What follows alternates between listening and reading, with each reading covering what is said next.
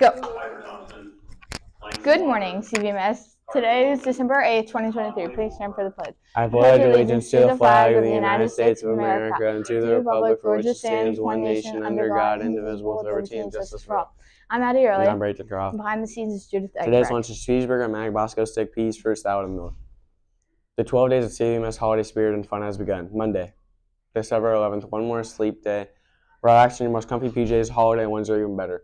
The CVMS basketball tournament is tonight and Saturday. Come, please come and support your fellow Dragons.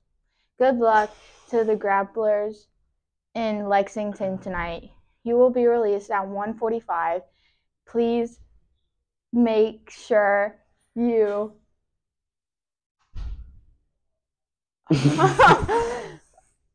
at 1:45. NWA testing is going on throughout the building, so please be respectful and quiet when in the halls. Quit of they? Be the reason someone smiles today.